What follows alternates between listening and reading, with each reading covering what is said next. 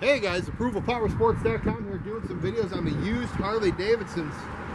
We got a 2013 Street Glide, only 14,425 miles.